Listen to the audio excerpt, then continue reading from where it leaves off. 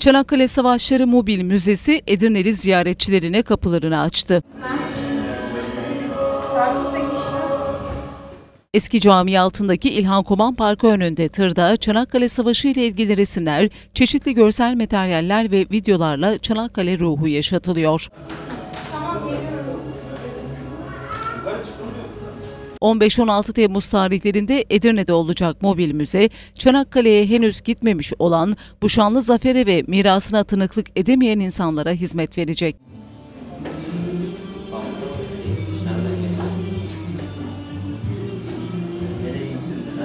Mobil Müze Tır'ın proje koordinatörü Engin Karataş, Çanakkale Tarihi Alan Başkanlığı ile yaptıkları projeyi Kültür Bakanlığı'nın destekleriyle gerçekleştirdiklerini belirterek, Edirne'den sonra Kırklareli'ne gideceklerini, tüm Edirnelileri mobil müzeyi ziyarete beklediklerini söyledi. Edirne'de iki gün bulunacağız. Ayın 15'i ve 16'sında burada bulunacağız. Ee, Çanakkale Tarihi Alan Başkanlığı'yla beraber yapmış olduğumuz bu projede e, Kültür Bakanlığı'na bağlı olarak Kültür Bakanlığı destekleriyle yapıyoruz.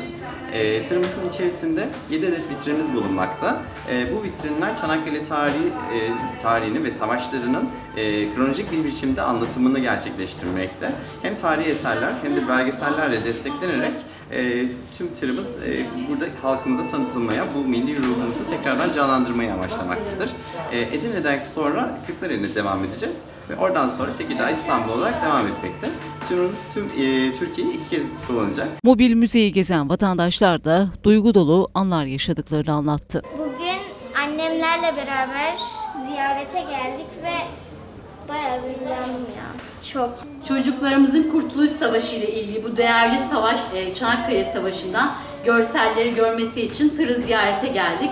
Bu güzel e, tırı Edirne'ye getiren tüm e, Turizm Bakanlığı'na, Kültür Bakanlığı'na ve herkese teşekkür ediyoruz.